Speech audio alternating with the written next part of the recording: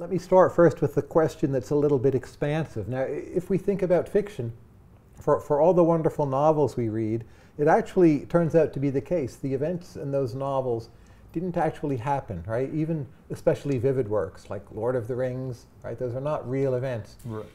So if we're reading for some reason to, to, to learn things or, or be moved emotionally, why is it that things that didn't happen have so much power for you or other readers relative to things that did happen? Why, why is fiction so special?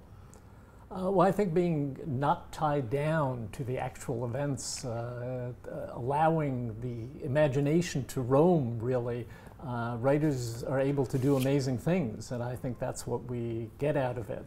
Uh, that uh, nonfiction, the description of what has actually happened, first of all, it's also very difficult to capture just precisely what has happened, and often fiction allows you to go beyond that uh, to imagine the reasons behind it, which you might not be able to if you were doing just purely uh, following the facts, so to speak.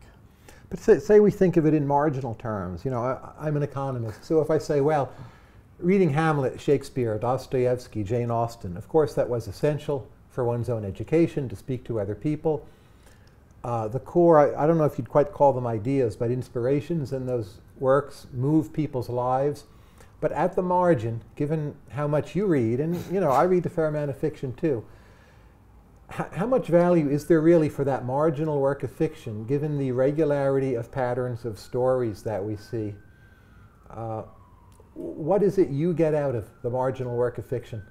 Well, it, it, varies. I mean, I have to admit that the great deal that I read, I don't get that much out of. And you really, I think one of the reasons I do read as much as I do uh, is because it really takes that whole mass to really find all the different uh, things you're looking for in it.